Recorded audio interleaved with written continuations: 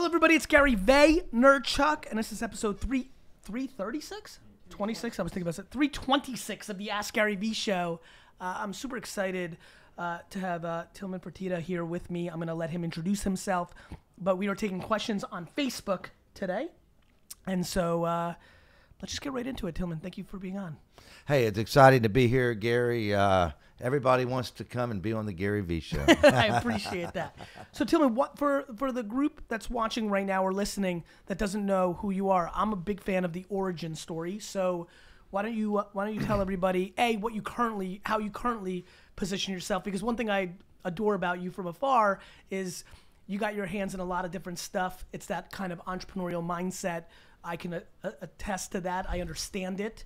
Uh, so when somebody says somebody meets sits down with you and says you know and doesn't know who you are they're like what do you do how do you answer it um, that's really funny that doesn't happen that often but when it does I just say, you know, I'm I'm just trying to make a few dollars. I have a few little businesses, and uh, you know, my main business is a company called Landry's. It's about 600 restaurants, and Landry's owns everything from from Mastro's to Martin's to Rainforest to Bubba Gump to Saltgrass to Oceanaire to Dos Caminos to Bill's Burgers and on and on and on. There's like 50 how many brands. five zero Five, yeah, about 50 brands and uh, over 500 restaurants. But and then the five Golden Nugget casinos are mine, and then uh, and aquariums, amusement parks, catch.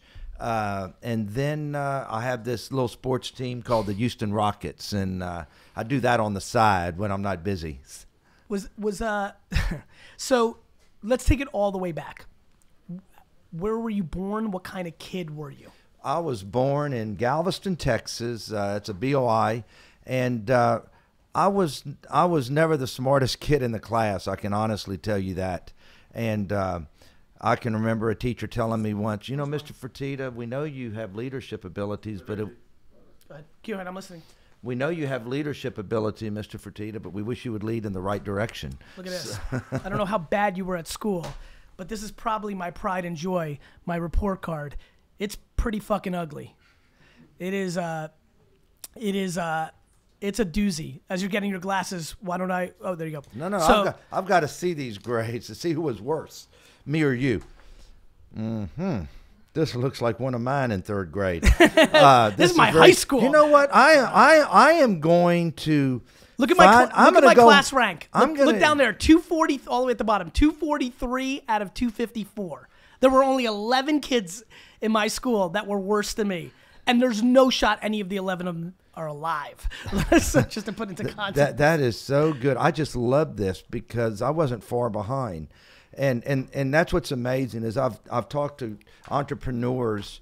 Uh, we're given a different ability, and and it's a it's a God given ability, and we Yes. just know how to do it. yes. And uh, all Knowing the- that you've been around sport, you know, do you view entrepreneurs like athletes that way? Like James Harden was given a gift. That's obvious to a lot of people. It's a little less obvious where you're going with this on the entrepreneurial kick, but I couldn't agree with you more. Gary, I talk about it all the time. I talk about it in this book that that God gave us all an ability, and He decided, Tilman, I'm not going to make you a musician because I took guitar lessons for four years and I still couldn't play a chord. I'm not going to let you win a a, a, a Grammy. I'm not going to let you win an Emmy. We're sure not going to ever let you be an NBA All Star or be a professional athlete. But you know what we're going to do? We're going to give you a good little business brain where you know how to make money. And I realized that when I was in elementary school, I would carry my business around. I wouldn't. I wouldn't have. Uh, uh, I wouldn't read a comic book or do anything. I was selling candy and anything else I could buy and sell in junior high. In high school, I was already trading the stock market. Um, in in college, I was business I was already booking bets. I get it.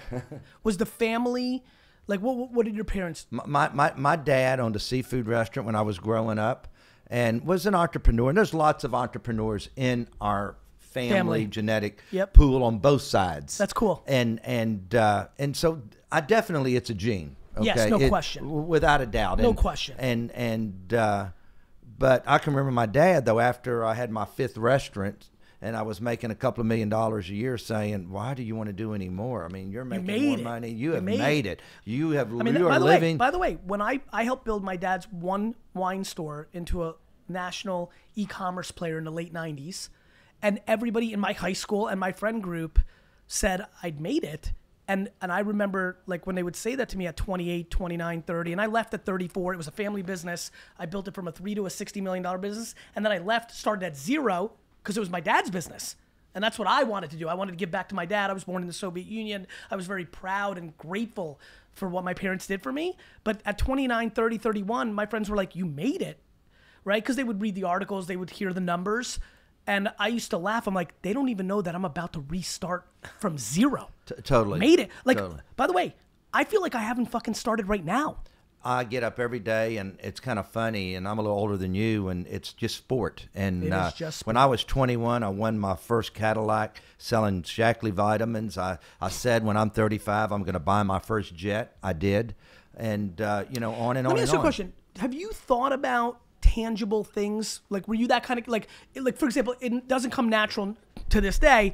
I don't want. I want to buy the New York Jets. So you've accomplished something I want to do, right? But I don't want anything else in between. But were you somebody who wanted stuff like Cadillac Jets? Were like you were like you liked that shit, or you thought it meant something? Like I'm just curious how your brain works. No, no, I, totally. I mean, I had in my brain that this is what I want, and I'm going to try to get from point A to point B, however I have to do it. And I hope you're not in the way because I'll have to run over your ass. Okay, I understand- I but understand. but uh, but uh, I, I wanted the Cadillac. I wanted the the um, the Can I ask you? the Can I ask you a deep question? deep.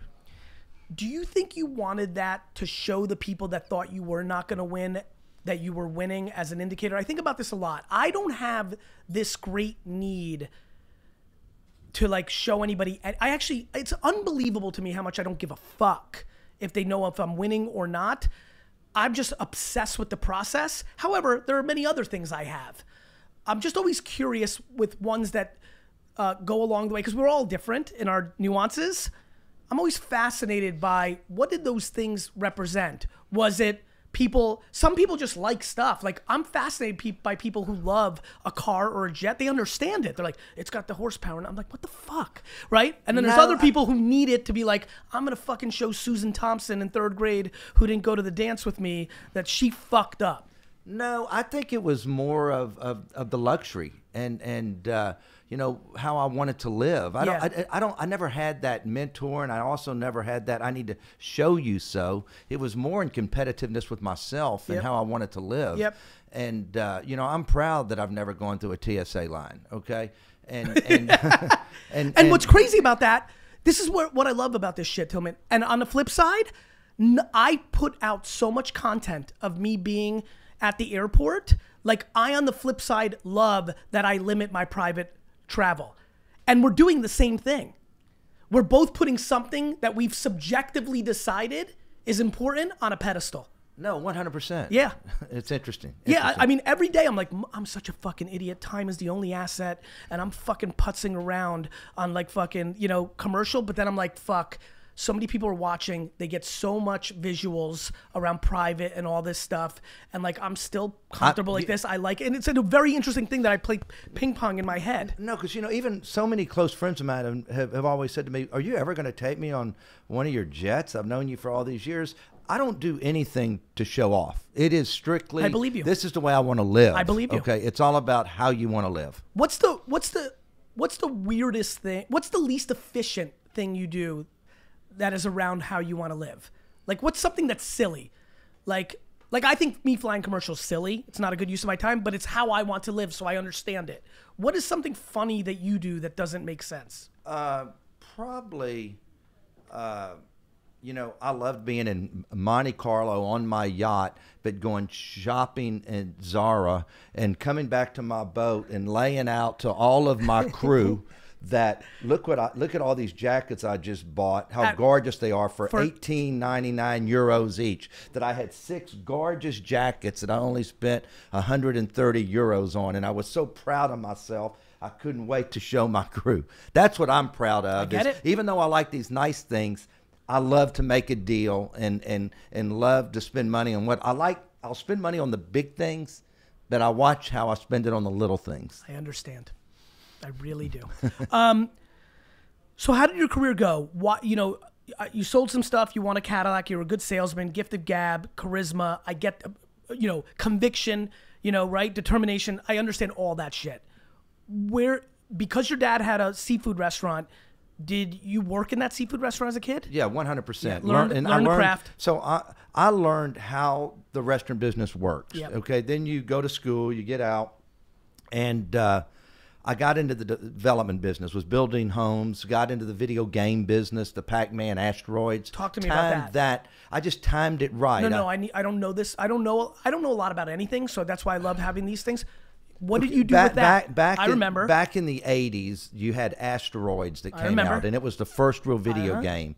And then, be, be- then became Defender and Pac-Man and all of those. Well, I saw that the world was changing, and so I went out and bought these machines and started putting them in restaurants around. And all of a sudden, you're you're you know, I look up and I'm making hundreds of thousands of dollars in cash. Right. Okay. You're, and look, are you and I'm in- literally driving your Cadillac around, grabbing buckets of fucking quarters? No, but I was I went out, you know, probably in the first, you know, I can't remember it, but eventually we had a few trucks Of doing course. it, and all I remember But is I mean the carrying all these big bags of quarters, and you know, and it was all I know is I was I was in high cotton. I was feeling really good about myself, and uh, did that for a few years, which gave me the opportunity to start building homes and little shopping centers, and then I built my first hotel when I was 26 years old in my hometown, which I still own today. That's cool. And and uh, and that and that's kind of the story. And then the development business came apart. All the banks failed in in uh, the late '80s. This is a great story, and I talk about it in the book. I had loans at like nine different banks in the late '80s in Texas, and that's when this crisis was as bad as the 08, 09 Yeah, 87, crisis. the- the It was Black Friday was horrible. That, that was the the world came Yeah. apart Yep. every bank that I did business with failed before I did. And so uh, this 2 million worth of loans, which was a bunch of money in the 80s, okay? Yeah, there you- was me, nobody to do me- pay. All of a sudden you have to make a payment and there's nobody to make a payment to. The bank is gone. The FDIC has shut them motherfuckers down. Okay? Tell me, tell me real quick, because I want you to go back to point. Please tell the kids here how much two million dollars. Give me a number of the way you feel. Two million dollars in '87. What's that equivalent to right now? I would probably say 20 million. You know, Yeah. it'd be like having 20 million. and D-Rock, so I you know got what I always talk about when you know I apologize. You know how I always tell my audience I'm like, you know, my transcending moment in my career was when I was right about YouTube, but I didn't invest in it. and then I read when YouTube sold for 1.7 billion dollars to Google. I don't know if you remember this or anybody else in the room. That sounded like a trillion. Oh. It was a st- now like companies that don't make any money are worth a billion, but at the time, YouTube sell- this is only 2007. 1.7 billion? Well, it shook me. it, it's a, it's a crazy number, and I'm and I'll I'll give you an example of something. Please. So so so basically, what happened is I got a reprieve from the governor. Okay, and so all of a sudden, I had five years to keep growing my business before the FDIC called me and said, uh, "Mr. Fertitta, we have some loans here. We would like to talk to you about." But by then, I had opened up a bunch of restaurants, made a bunch of money. I walked in and paid the FDIC $2 million. They waived all the interest, and they said, You're the only person to pay us in full. But I was rolling then, and so things were good. Do you want to wait till that thing goes? That, Keep that going. I'm fucking pumped. So, so, so Keep going. You know what? So in 1982, I bought into the Rockets for two hundred thousand dollars. Is that we true? Paid I didn't know that. We paid ten million dollars for the Houston Rockets in 1982. Right, you got 20% Uh, for 2 million? No, no, no, no. I'm just sorry. on the small percentage. Understand. Okay. One more time, But 'cause I didn't hear it. Two hundred thousand dollars. Twenty percent would have been two million. I got it. So I think, but we also had some debt on it. I think I owned like three or four percent. Okay, whatever it was. Okay, so I'm a partner in the Rockets for ten years. The owner decides to sell. The general partner says this is becoming a billionaire's game. Well, this is in 1992, and I'm only worth about 10, 15 million dollars. That's don't get me wrong, that's a bunch of money. Okay, You're so I try to contextualizing. I buy. I didn't have the ability to buy the team by myself, so I had a partner, and we tried to buy it, and I got outbid by a New Yorker, Les Alexander. He paid eighty million dollars for the team. So in ten years, the team went from being worth ten million to eighty million. Okay, now now here we go. Tim, real quick, I 25 apologize. years Before later. you finish, I just want to remind people, they've heard me say it a lot. The 1982 NBA Finals in America was on tape delay. it was it was The league was nothing. It was nothing. The It way you guys think about hockey right now, this was below that. And, and it's important. I'll tell you why it's important. And the reason I've jumped in twice now the 2 million, 20, the league. You and I have a similarity as I'm listening. It's just arbitrage, it's seeing things just enough time before somebody else, but then having the conviction and the gumption to fucking do something. One hundred percent.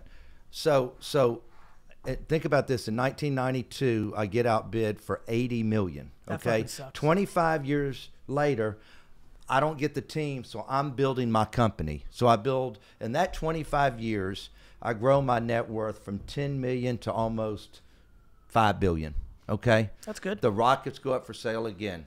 25 years later, two. I come in with the highest bid. I was right there. Most ever paid for a sports franchise, 2.2 billion. So in 25 years, the value of that team goes from 80 million to 2.2 billion, and that's real dollars. This isn't monopoly money. Okay, you wire the money, you pay for it. So Tilman, d- were you a were you a big basketball fan? uh, this is this is so unbelievable. I sit in the same seats today that I sat in for the last 25 years, center court. I I I was one of the. This is so funny. After I bought the team, I'm one of the 30 longest season ticket holders of the Rockets. I love you. Isn't that amazing? And you Not only is it amazing, it's literally going to be hometown. how I'm going to tell this story in 31 years. This is literally what I'm going to clip this. You know how I clip old shit? I'm going to clip this and be like, I was sitting this seat, now I'm here, and some new person, she's sitting in that seat. Like, I fucking understand. I would kill my children for the New York Jets. You know, I and I, you know what? I would sell my children. I won't kill them for the Houston Texans or Dallas Cowboys. You like both those teams? Uh, You oh, know, you want to own an NFL team? Is that I, what you're saying? I would saying? love to own an NFL team. That's that's. uh, Just take me I way back. As a super, as a young, young kid, who was your favorite team? well, you know what's kind of funny is is Was because because baseball was religion when you were a kid. one and I was the biggest Astros buddy there was. There was Astros all over. But but what happened was they used to have the. You young guys don't know this, but you They don't have know the black. shit. That y'all don't know shit. Y'all really don't. y'all don't know how bad we had it. Go ahead, get but Tilman. you couldn't even watch the NFL team in Houston, and you lived in Galveston because it was the 50 mile blackout rule. So you didn't get because they wanted you If- to come to the game. if- that's right, you if- could- 'cause they they didn't sell out, They couldn't sell out. they blacked out. you out. Which they didn't sell That's out. how that's then. how the Raiders and Cowboys and Steelers became all people's fans because when they would black you out, they would show you one of those three teams. And so, in, because Dallas was know the right. because Dallas was the next closest team, and all of a sudden, remember this: when do you become a sports fan?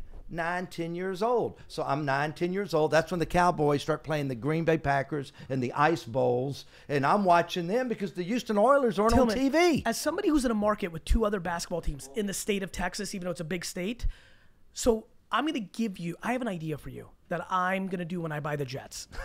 when I buy the Jets, because I hate the Giants more than anything, well, not more than the Patriots, but I hate the Giants, right? When I buy the Jets, my core marketing strategy to win the tri state area is on every single person's sixth birthday, I'm going to send them a Jets jersey and personalized messages.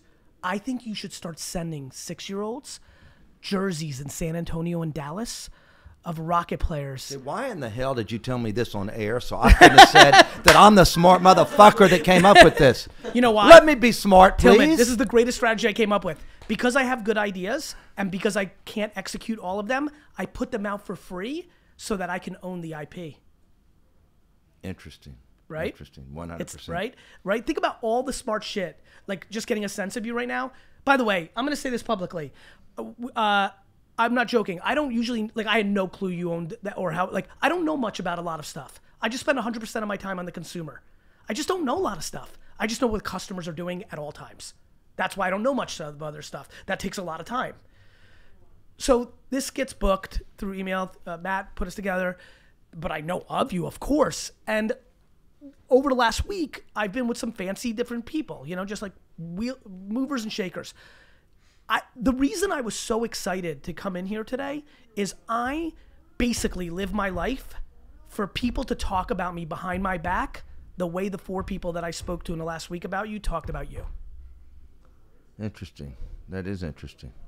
I, I, I don't know if it was good or bad. It was very good. It was very good. no, it was very good because because what what is interesting is I'm always fascinated by people that actually know people versus knowing of them. Interesting. You know, my big game in life, there's plenty of people with the way I roll, the cursing, the bravado, the confidence, the conviction. Especially if I'm putting pressure on your business, you're not going to love me. But I care about what the people that actually know me say about me. And in that group, a couple of them really know you and like, and are also very, very close to me. So they're not going to bullshit me.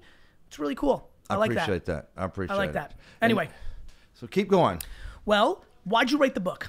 You know, it, it's really interesting. Uh, about 18 months ago, Harper Collins Oh, my uh, publisher. called me and said, uh, "Hey," and we we watch your television show, Billion Dollar Buyer. We we we see you on the all the business shows, and you always have these Tilmanisms and these one-liners. And we've read all these articles about you, how you say, "Oh, I can see a burnout light bulb at one of my restaurants from forty thousand feet." And and uh, they said we'd like you to write a book.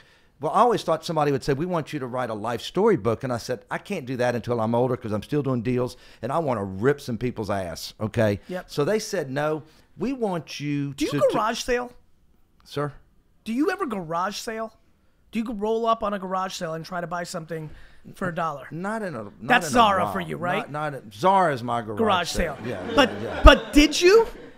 I, I've yeah, absolutely. When I was younger, I apologize I for mean- interrupting, but you said rip somebody's ass, and I'm like, listen, like the the happy.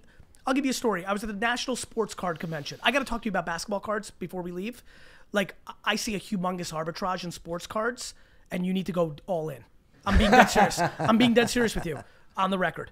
Uh, I was at the National Sports Card Convention in Chicago in in late July this year. I walked over to some guy's table, bought a Wayne Gretzky rookie card, not in great condition, for 220 bucks. I brought it back to my table, priced it at 260. An hour later, somebody came over and bought it for 260. I swear on everything, that $40 ARB meant more to me than all $50 trillion deals I make every day. Absolutely, because that's what we do. what that's we like me fucking do. making the deal at Zara for all these Yep. jackets on a close. That's why I asked you about garage sales. So anyway, the reason you don't want to write a book is you still got a couple moves in you, and you don't want to put it out there because the way that's how you're gonna fucking right. do it. But so they just wanted it in a silo and say, talk about how you made it. What what what were your philosophies? All your Tilmanisms and you know the 99 95 5 rule. There What's are no that? spare. You know. 95% of everything we do is right every day in business. But look for the 5% you do wrong, and that's what makes you better than everybody else. There are no spare customers, okay? It's a competitive Facts. world in every one of our businesses. Take no out of your damn vocabulary. You you're, you're on a business trip and it's 11:02. You hang up the phone and and uh, on a call and you call down to order some breakfast and they say, "I'm sorry, sir, uh, we don't serve breakfast anymore." I say, "That's okay, no problem. I don't need a waffle or or an eggs Benedict. Just throw a couple eggs in a skillet and send them up scrambled, however it's easy for you to do." Uh, I'm sorry, sir, we don't serve breakfast. Why are you telling me no? I didn't ask you Preach for anything special. Preach You're going to throw a burger in the pan. Just throw me a couple of eggs and take care of me. B, you're in the hospitality business, okay? And you're telling me no. And everybody's in the hospitality business no matter what they do. You take care of your customer, okay? You take care of your customer. It's no different than we walk in and your people meet us polite. You put a welcome up on the screen. You come in here, everybody couldn't be. Can I get you some water? Tell me, can can I do this for you? You're in the service business. Everybody so why is. do you want to be an ass and, and say no to somebody when it's just as easy to say yes or you just give an alternative? Because the company's being run by somebody who's not. Because these companies get big and they hire somebody who fucking went to Harvard and fucking worked at Bain and McKinsey and they don't know what the fuck they're talking about. That's why Tilman. I love my McKinsey consultants when I see them. I just love them. Uh, I, I- it's so funny you said that because I have in this book, consultants will consult your ass right out of business. 100%. Okay, and I don't hire I lo- consultants. you know why? Because they've never fucking done anything. That- that- uh, unless I need I need a report or That's like something, me and I tell them what I want them to say. That's like me That's telling when I Russell in. Westbrook what to fucking do. 100%. Stupid. I watch a lot of basketball. I've got ideas. It's fucking stupid. Because you know what you know and what you don't know. it, it's unbelievable. The de- it's why I love athletes. When you really get to know them, it's really fascinating how they talk about fans. They've got whatever variable, no matter how you take it, pro and con. What I if you if you melt every athlete, what they really say when they talk about fans is they just don't know, Whether they say they're assholes or whether they love them, they just understand that they have no fucking idea. They have no context. It's actually my favorite thing that's going on in Earth right now. We live in a judgment society because it's social and everybody has a voice, and because the way we've always been judgmental. That's how humans are. Small little town. Somebody said, "Oh, Ruth's borscht is not as good." Like we've always been judgmental, right? But but now we can see the physical manifestation of it. But the reality is, people are judging people left and right without knowing anything about the truth. Nobody knows you. Nobody. Nobody. And that's why when when when I have a good friends that'll say to me, you know, I was over here and I was at a bar and they were trashing your ass, and I'll say to him, well, do you know Tilman Fertitta? Uh, no, but that's what I heard. You know, because people don't like people on top. Okay, and and and you're on top. I'm on top. And and and on- I do think people though are, are getting a little nicer though. I think people now seem Well, to listen, we have respect mac- you listen, or whatever. We have macro anxiety in the ecosystem, and eventually that becomes tiring, and people go like the world just ebbs and flows. It's not super complicated, you know. Tell me, so what? What was the breakthrough? So I like the story because I want to go back because I like learning from storytelling, and you're doing a great job at it. You don't have to pay back for an extra five. That gives you ammo. What was the? You have all these great brands, so I'm really excited to dig in here a little bit because, by the way, my entire company, which we're a global marketing company, a thousand people, big business, it's all a front. I'm building all this infrastructure to do what you and I do at scale, which is when the economy collapses, I'm going to buy historic brands and refurbish them. and that's what I do. And I was the first person out there to to start a platform and saying, um, like, let me give you an example. So I go public in 1993 With what? With, with ten restaurants. Land, Which ones? Landry Seafood Yep. House. I'm making six million a year in EBITDA, and all of a sudden you wake up and you're on the Nasdaq and you're worth a hundred million dollars. So over the next few years, I build restaurants, and then I, I re- then we hit a dip in in the, in the late '90s, the Why? tech dip, the tech dip. Okay, You mean the but market? The market did, and so all And of so a your sudden, stock price went down. Yes, I understand. But at the same time, Was I your had- business healthy, though? Mm-hmm, Just my business was healthy, and you know this. What your stock does and the Has health nothing to have do- nothing, to do with each other. You know, like, oh, fu- can I ask you a Cisco missed their numbers. This, Tell me, wait a minute. This is actually completely confusing to me. You were a public CEO? Yes, for How the 18 years. How the fuck did you deal with that shit? because I performed, and I told them to go fuck and, themselves? No, and You had to a little bit. You're right. You had to tell these people on the earning call who would like try to ticky tack you on some bullshit, and the, you're the playing. longer I got and the richer I got, I put up with less. Okay, but I, I Okay. can remember. But you got to, but, but you got leverage is a funny thing. No, but but it's it's interesting because And why I you had did a board, I you had a board that like was all in on you? Let me let me Please. First off, I, it, when I took it public, I owned hundred percent. Okay. Okay, That's an uh, easy way to start. So so it was my board. It was you. It was my. I had a board, but it was my board. It was okay. you.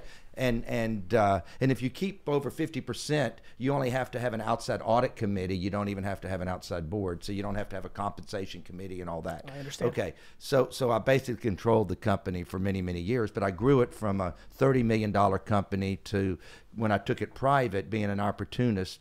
You know, X amount of years later, to a multi-billion dollar company. But but uh, we, we we got off track somewhere. But what happened is Don't worry, it's I, I time no, but I realized I realized that I could go buy somebody and get rid of their G and A and bring them to Houston and keep the store operations, but not have all that overhead. And so over That the was the next because over the next 20 years, what I did was, and I can tell you every city that I shut down somebody from Portland, McCormick and Schmick to, to Chicago, uh, Chart House's home offices were there, and Martin's home offices were there. In, in uh, Laguna Beach, it was Bubba Gump and Claim Jumper. And I can just go from city to city. Minneapolis, it was Oceanaire and Rainforest. So I bought all these companies and I just shut their office down and consolidate in, in, in Houston and save millions and millions and millions on G&A.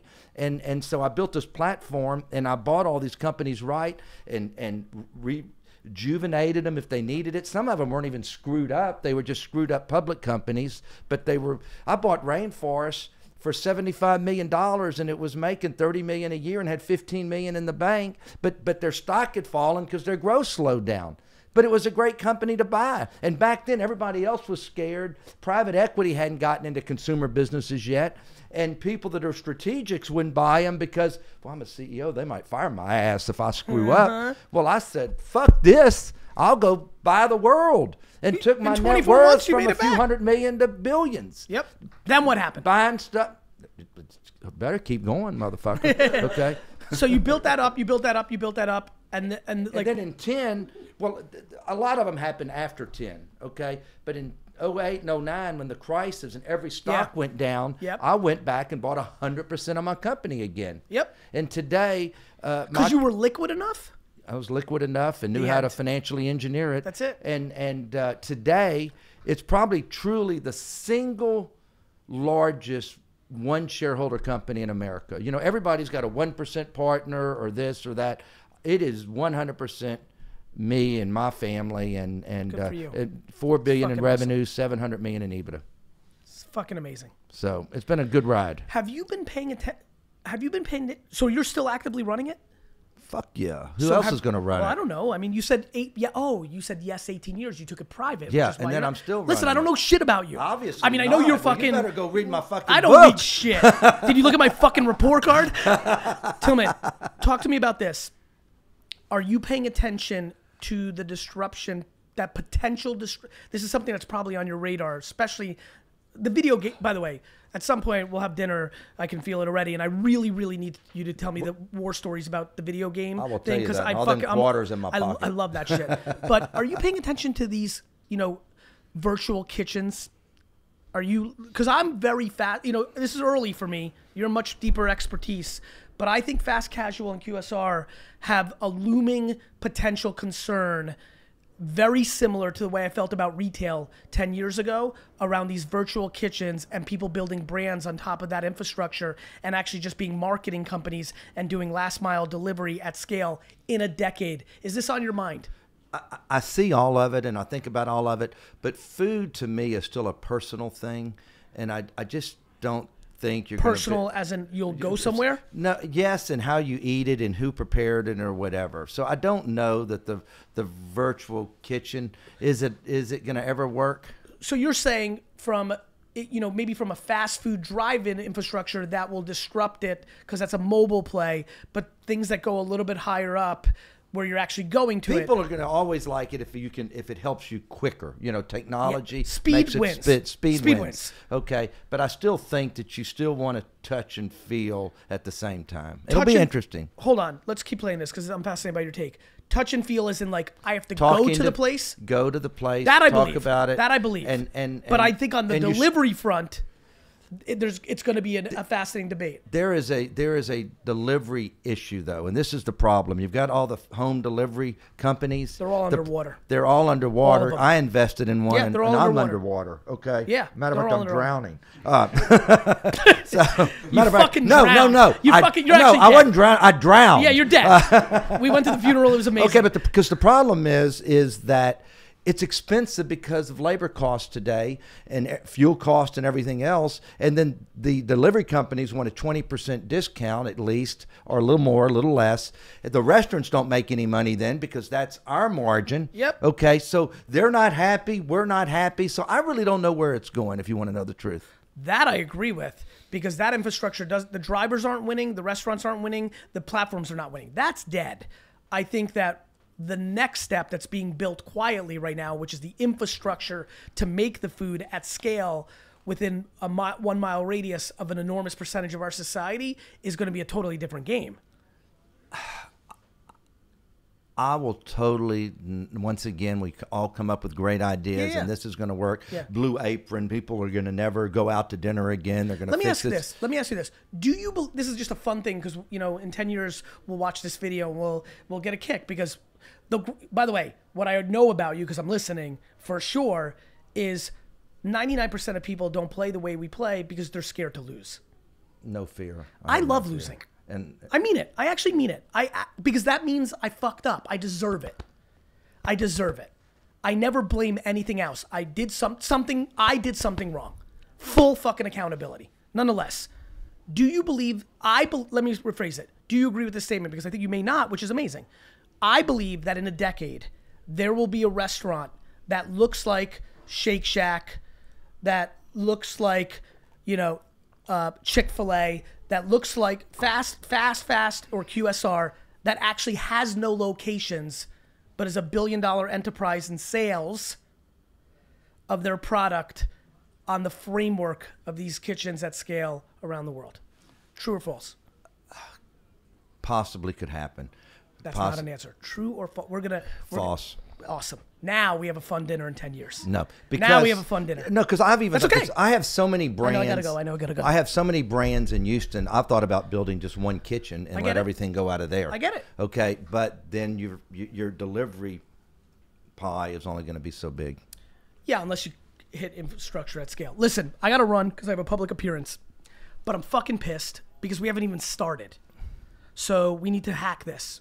You, you're. How often are you in Houston? Always, half the No, time. no, no, I have a place here in New York. Also, I'm I'm up here We need to part. once a month. Are you willing to do part two with me on this? Absolutely, All right. absolutely. When's the book? Is the book out? The book came out yesterday. Awesome. Order it on Every Amazon. single or- person that's watching, buy this book. Shut up and listen. Shut up and listen. and and what's better than you get that more than anybody, right, Gary? You know what's you know what's funny? No, because because meaning I get it from people saying no, that. no, no, no. Please. You, no, no, no. Oh, you I get understand it that because you want people to listen because you know you have something you know to say. you know what's funny, Tilman. I'm, I'll be very frank with you. I, this is interesting to me. Mine would be like, you know what my title would be like. Hey, I hope you listen because if you actually do something with what I'm saying, something good might happen. You know, to me, I what? That's a long ass. That's a long ass title. But that's my. You know what's funny? say that You know what's funny? For all the things He that was I've gone- dyslexic. You know, you know, for all for all the things for all the things Tilman that I think have gone well, what have you? There's an interesting. You you really won me over on the eggs at 11:04.